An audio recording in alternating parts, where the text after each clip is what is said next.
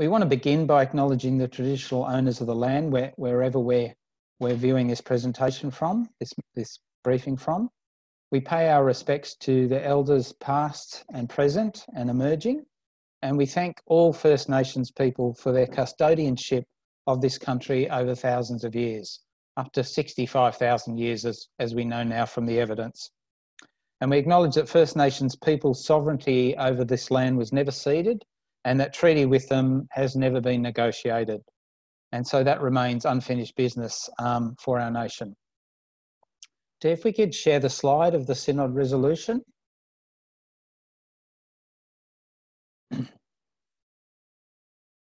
So just before I talk about the resolution, sorry, I've missed one thing. If you'd like to put in the chat, um, if you know the, the, the, Aboriginal country that you're calling in from, maybe just say your name and the name of the Aboriginal country that you're calling in from and share it in the chat. That'd be great. So where has this briefing come from? As many of you know, in 2019, the Uniting Church Synod of New South Wales and ACT resolved to develop a Synod climate strategy. Um, and young people were heavily involved in presenting the resolution and its near unanimous adoption by our synod. Um, the resolution, as you can see, expresses three commitments. Firstly, there's a commitment to do our bit to reduce our own emissions across all parts of the church. So agencies, boards, congregations and also members. Then there's a strong commitment to advocate to all levels of government for emissions reductions nationally. And the final commitment is to young people, is to stand with young people in their advocacy on, on climate change, including through the, the global climate strike movement.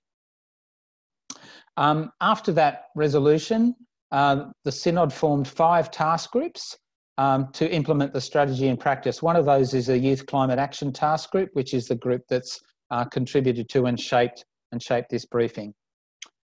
Could I have the next the session outline slide, please, Dee? So I just want to give you a quick rundown of where he we're heading in the next 80 minutes or so. So firstly, we'll hear from Thea Ormerod, who's the president of the Australian Religious Response to Climate Change. Um, Thea very kindly has um, agreed to speak to provide an overview of our current, current energy use in Australia and particularly the case for a post-COVID recovery focused on renewable energy. And look, we thank Thea and all the people who will be sharing their expertise and experience with us.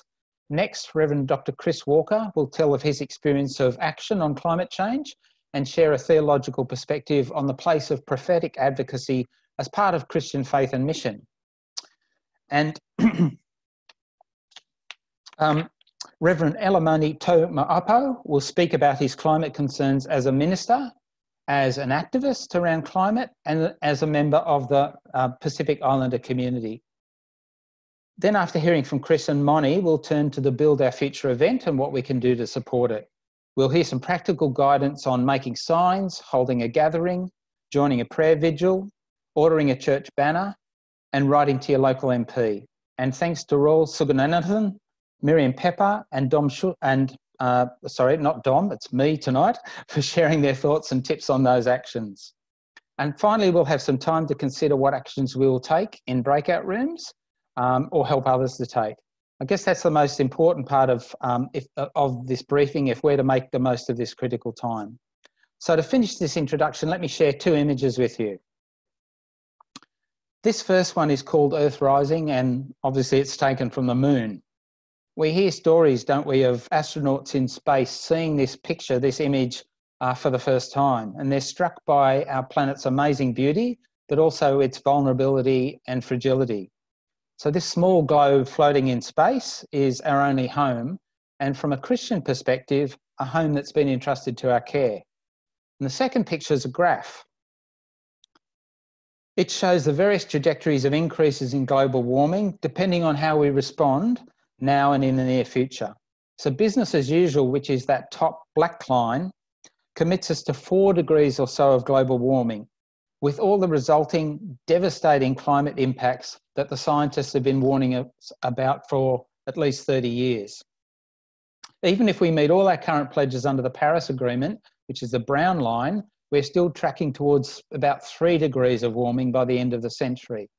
And remember, we are currently, the scientists tell us in Australia, about 1.1 degrees of warming, and we've just had the most, the worst bushfire season in memory in New South Wales. Um, the green line, which is next, shows us where we need to be heading to get as close as possible, to get under two degrees and as close as possible to 1.5 degrees. And we know that that will require very substantial emissions uh, by 2030, much greater than we're making now.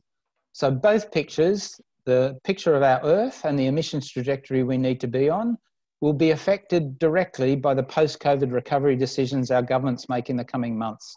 And it's those decisions that we're seeking to influence through our church's support for the next School for Strike for Climate event.